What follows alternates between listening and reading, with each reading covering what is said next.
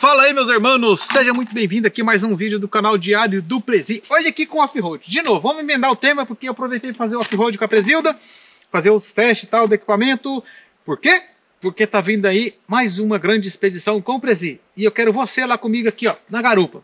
E na garupa virtual. Ruta del Deserto é o nome da próxima grande aventura que eu vou fazer aí. É uma ruta pelo centrão da América do Sul, né? Eu ainda não tenho um roteiro definido, mas é, um, é o assunto de um próximo vídeo que eu vou fazer aí. Até lá eu já vou ter, eu vou explicar para vocês ali no Google Maps, mostrar a imagem, como que ficou, a minha ruta certinho onde é que eu vou passar. Claro, não é 100% ali engessado, porque a gente sabe que a gente desenha na, na antes de sair de casa a gente faz uma, um pré ali, mas lá em, enquanto em viagem a coisa vai mudando. Ainda bem que é assim, né, que as coisas cambiam pela, pela carreteira, que aí a gente tem surpresas a todo momento acontecendo. Mas o assunto de hoje é só para a gente bater um papo aqui, porque eu preciso explicar assim, enquanto eu estou em viagem, em expedição, eu preciso ter os vídeos rodando no canal, né? Ô presidente! É nóis! Chega aqui, vai sair aqui no Orkut. Opa. Vem, vem, vem mais, vem mais, vem mais, vem uma ré pra trás aqui. Presidente, olha que eu ouvi a, a. Aí, ó. Aí, para aí. Aí, presidente. Aí, mais um caiparada aqui chegando aqui, ó. No meio do mato a gente encontra os parceiros. aí, amigo motociclista. Vai, prazer. Mas, gente, eu, eu vi esse carro e falei, uau, cara, eu tenho uma paixão por esse Forest. É? Sabe da onde? Costa Rica. Costa Rica. Lá em Costa Rica tem muito Na desses carrinhos. do Sul todinha. É. E aí é. eu olhava esses carros fazendo off-road lá, o cara adaptou aqui em cima uma... Ah. Como é que é o nome daquele? Camper, né? Aham. Uhum. Sim, sim. E aí ele rodava de, de, de Pacífico ao Atlântico. Oh, é muito legal, da hora esse carrinho. Legal. Mano. Bacana, Bacana, cara. Tá tudo bem? Tá tá, tranquilo? Tá, tô só gravando o conteúdo aqui. Ah, legal, legal. Bom te ver, cara. Valeu, Parabéns, nada disso aí, cara. Parabéns pela motoca nova aí. Valeu, tamo junto. Leva lá. Valeu, valeu. Eu, tenho, eu sou motociclista também. Bacana, tá no sangue. Bora rodar. Hoje a gente tá fazendo um off-road de Jeep. Aí é bom, hein? Aí é prazer, mano. Valeu. Valeu. Bacana, eu gosto de conhecer e encontrar vocês pela estrada, cara. Se vocês veem eu aí na estrada, mano, taca pedra. Taca pedra. O presidente não me viu? Taca pedra. E aí vai vem eu, a gente encontra um caiparada aí também. Mas aquele carrinho é da hora. É o Jimmy Forest. Só que é caro, né? É mais de 650 pau um daquele lá usado. Tá doido. Dá pra comprar duas Presilda ainda você vai no Alasca com ele. É, então eu preciso colocar os vídeos girando no canal aí. E aí pode ser um assunto, é mais um assunto bate-papo aqui pra gente conversar tal. Tá um, um dia agradável, gostoso. Lá a natureza. E vamos lá. Por que, que eu tô fazendo essa viagem? Se, se eu já vou lá no Atacama mais duas vezes esse ano. Primeiro, eu tô indo para justamente para porque agora meio que virou mais trabalho também, né, para o mototurismo guiado que eu tô fazendo eu e o Contini, e já tá aí na, na programação, vou deixar na, na, descrição do vídeo sobre esse projeto de mototurismo guiado, que a gente vai levar uma turma, as turmas pro Atacama, não só Atacama, né, tem Atacama, Mendonça, aquela coisa toda ali, de muito, muito turismo englobado ali, muito mototurismo e prazer de vida para a galera. E aí nós vamos levar duas turmas esse ano. Aí eu vou lá agora para mim fazer uns reajustes nos roteiros para essa expedição, ver os hotéis, ver alguns turismo também, ver a coisa de, de frente a frente ali, né? Pra gente não ter de, de suspetão ali e ficar com surpresa no primeiro grupo. Não, eu não gosto dessas coisas. Eu vou lá, tal, vejo a coisa de perto, corrijo o que tiver de corrigir e a gente aprimora e já lança. Igual foi o Serras Brasil na primeira turma. A gente fez a primeira turma, ah, a primeira turma é sempre ruim e tal. Cara, foi a melhor coisa que nós fizemos. Não teve um problema e a coisa perfeita demais da conta. Vai ter outra agora em junho, né? Que é pra gente quer ver, pega um friozinho, uma neve lá no Urubici. E vai ter a, o Atacama em setembro e, e, em novembro também. Então é isso, eu vou estar tá saindo agora em fevereiro e, cara, vai ter vídeo até outubro rolando, novembro, para se deliciar com esse Atacama e Cia, né?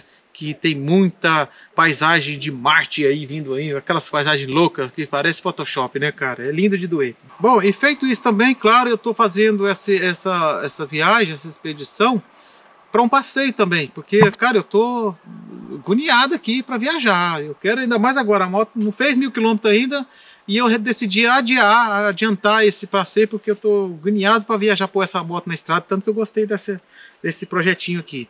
Essa plataforma de viagem que eu vou fazer agora, né, que vocês vão acompanhar nos próximos vídeos, é diferente da, da, do mototurismo guiado, porque eu tô indo solo, né, em primeira mão, e tô levando tralha de camping. Então, infelizmente, eu vou ter que viajar com os dois baús laterais, sim, né, paciência. Mas eu, na, quando eu for fazer motorismo guiado, eu vou deixar eles em casa. Com tralha de camping, a gente sabe que 50% de, de, da bagagem vai em tralha de camping, né, cara? Não tem como evitar isso. Sem falar no, na tralha de equipamentos para gravação, né? Drone, GoPro. E antes de começar o tema aí, eu quero lembrar que esse, esse projeto, né, essa próxima playlist, Ruta del Deserto solo aqui com o Prezi, tem a parceria novamente, nada mais, nada menos que quem? Atacama Parts. Valeu aí, meus brothers do Atacama Parts aí, de, novamente na playlist aqui.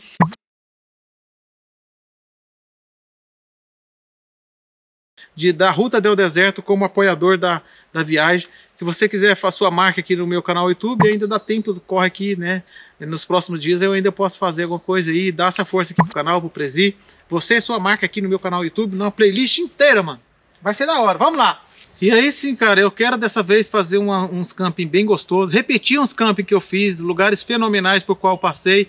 E, e, e, essa ruta, essa ruta do deserto agora que eu vou fazer solo, ela vai ser diferente também, o roteiro né, no Google Maps vai ser diferente do que a gente vai fazer com motorista guiado.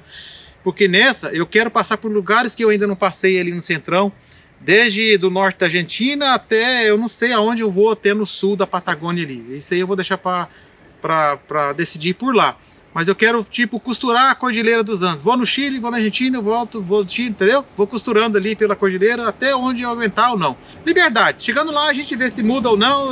O roteiro é esse mesmo. É liberdade. Ô, oh, boiada! Tudo plantação de churrasco, mano. Tá vindo ali, ó. Tá indo ruim, né? Lembrando também que esse vídeo aqui, igual eu falei, é um bate-papo aqui. Não vamos aprofundar em coisas técnicas, mas ó, eu tenho aqui anotado aqui as, os próximos vídeos sobre essa viagem, ó a bagagem da minha viagem que eu vou fazer, que eu vou explicar novamente, né, que, que eu tô levando, os pneus dessa moto, por que, que eu não vou com esses pneus originais, 100% asfalto, e qual o pneu que eu escolhi para ir, qual será, né? Documentação que eu tô levando para Atacama, tem umas coisas novas aí que apareceram e eu quero compartilhar para vocês aí. Seguro que eu tô fazendo, tanto seguro da moto como seguro viagem, o roteiro do meu, do meu projeto inicialmente, que é ali pelo Google Maps, na prática que eu vou mostrar para vocês. E sobre é, viajar com moto, feita, né, feita a primeira revisão e já viajar com moto, e eu vou explicar para vocês por que, que isso é negativo e quando isso é positivo. Tem um porém aí que a gente deve falar aí. E aí os vídeos também, vai vir outros temas de vídeo aí pra gente, igual eu falei, eu preciso colocar no canal para não deixar sem vídeo aí para vocês enquanto eu estou em viagem. Porque dessa vez, apesar que eu vou levar o notebook, né, na, na, no saco estanque da Saxon, inclusive já tem também o cupom da Saxon aí para quem quiser lá, né? Eu vou levar um notebook mais assim, para a questão da memória dos equipamentos, né? Do drone, da GoPro, para fazer backup ali e tal. E também editar algumas coisinhas, mas eu não vou editar vídeos pro meu canal no YouTube enquanto em viagem. As pessoas acham que esses vídeos de YouTube é igual fazer post em rede social, que você pega o celular, grava ali um videozinho, faz um Reels, faz um Story, faz um TikTok, já posta, pronto, acabou, tchau e benção. Não é assim não, galera. Aqui no YouTube a coisa é diferente. Existe uma edição que é complexa de fazer, em todos os vídeos que eu faço, às vezes tem vídeo que leva semanas no mesmo vídeo. Fora isso, tem a burocracia de você postar no YouTube, que você tem que seguir as, as partes burocráticas ali, os setups, né, e configurações. Tem o planejamento de roteiro, tem as memórias, as gravações, misturar as edições ali no Premiere, é muita coisa, tá? Igual eu tava indo pro Alasca, eu tava fazendo essa plataforma, eu tava viajando, editando vídeo e postando enquanto viajava, era legal. Porque também eu quero viajar descansado, sabe? Às vezes quando eu tô viajando, igual eu peguei hoje para viajar nesse, nesse dia de domingo aqui, eu gravei quatro temas de vídeo, cara. Eu podia estar tá passeando, curtindo, né, vendo, relaxando ali, mas não, tô aqui trabalhando, fazendo as coisas, produzindo conteúdo para vocês. Quatro temas de vídeo foi embora aí nesse meu domingão aí. Tô reclamando disso? Jamais, eu, eu faço por prazer, né? eu gosto também de fazer isso aqui é meu, meu hobby e tal. Mas em viagem eu quero curtir lá o meu Atacama, aqueles lugares lá, os camping, sem se preocupar que, nossa, eu tenho que editar, soltar o vídeo amanhã, meu Deus do céu. Não, eu vou deixar de passear ali, eu vou me enfiar num, num rosto e vou editar. Eu preciso de um hotel, eu preciso de internet, eu preciso de, de, de energia. Então eu não vou querer preocupar com isso não. Tô mais na vibe de dar uma respirada. Tô precisando, cara, dar uma respirada. Depois desse projeto meu do Alasca, Jornada Interrompida, eu tô precisando viajar, porque foram 16 aduanas de perrengue e eu quero dar uma suavizada nesse, nisso aí. Agora com a Presilda, né, Presilda? Vambora. Então era isso, meus irmãos. Só um bate-papo mesmo aí pra gente se atualizar. E vamos chegar em casa porque tá vindo chuva ali e o off-road tem que comer hoje. Uh! Valeu, meus irmãos, abraços e bora rodar!